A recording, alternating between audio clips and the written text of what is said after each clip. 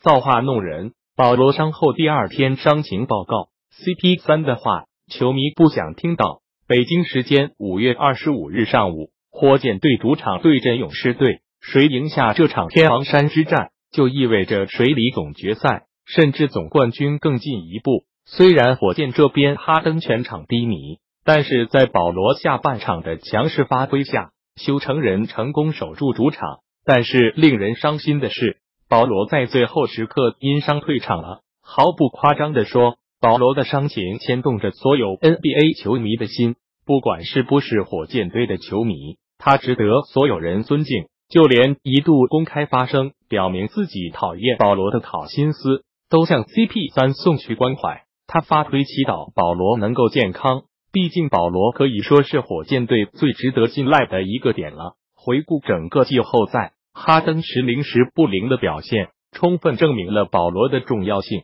今天同样是如此，哈登整场比赛三分球十一投零中，可谓是惨不忍睹。但是即便这样，保罗依靠着自己一个个神奇的进球，将勇士队推向了悬崖边上。他把球队带到极其有利的境地。但是令人难受的是，保罗真的受伤了。从保罗伤退离场开始。所有人都在时刻关心他的伤情。赛后，保罗离开球馆时，他单独坐上一辆车去接受治疗。